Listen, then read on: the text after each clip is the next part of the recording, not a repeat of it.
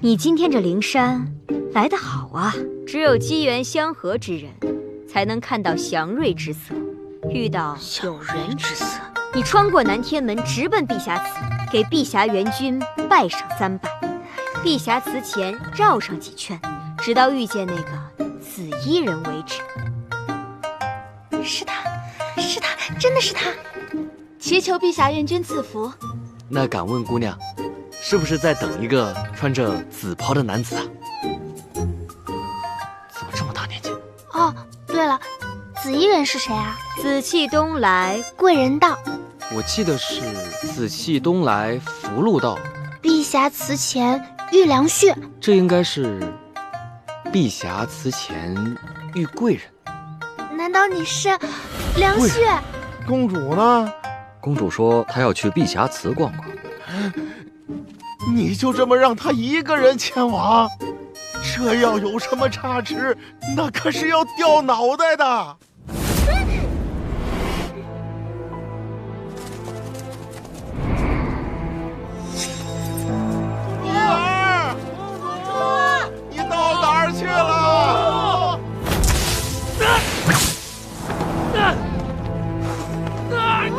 把他们埋了。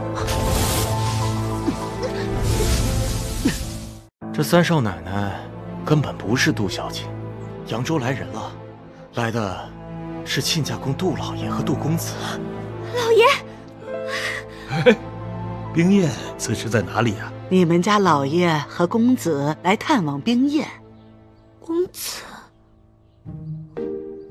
小喜，你可伺候好了我的妹妹。冰燕呢？小妹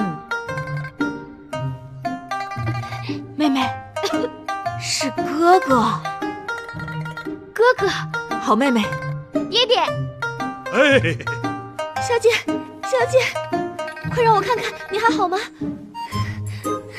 小姐，我那日在老太君堂上看到你女扮男装，可开心了。还好小喜你聪明。才没有坏了咱们的筹谋。我们小喜呀，可机灵的很。要不是小喜每日在齐府提醒我要端庄要温柔，我这个狐狸尾巴早就露馅了。我那个哥哥是个女孩子啊，她呀。就是真的杜冰燕，你刚刚出去那么久，干什么去了？我去马厩喂马了。那是下人做的事情，不是驸马做的。我现在又不是驸马爷。再说了，马最通人性了，你爱它，它就爱你。你不许爱马，只能爱我一个人。我就是实话实说嘛。你要敢这样，我就找人砍了你的头。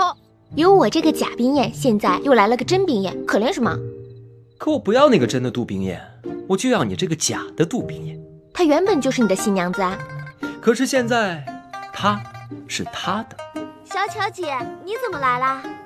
探子来了，老太君让我来送些点心。此次来林州，行程匆忙，能啊见到妹妹一面，已经是不枉此行了。冰燕可是在我这儿经常提起你，今日一见，果然仪表非凡啊。那是当然，我第一次见他的时候，最应该收回的，便是那十四家商行的账。我需要你去齐天磊他们的房间，把这毒针插在床上。不能疼！你会说话了。我刚才看见王胡子从门外拿东西往床上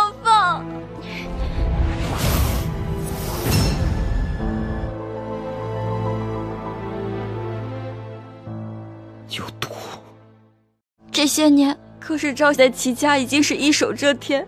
大哥哥和二哥哥也已经名丧黄泉，三哥哥也危在旦夕。我竟然让他害死了我的两个孙子，还让我的孙女儿遭受到如此的劫难。对不起，齐家的列祖列宗啊！冰燕是何时到的林州啊？五月初四。又是几时去的扬州？住了两个晚上。五月初六。哎呀，坏了！他们帮了你的忙，却坏了自己的大事。小姐，咱们找了这么久还没找到，这么大的地方，这简直就是海底捞针啊！你来京城，为什么瞒着我？我这不是病了吗？这有病不看可不行啊！你知道我这次给你请的是什么名医吗？什么名医？他是轰动整个京城的扬州名医。扬州还真是人杰地灵啊！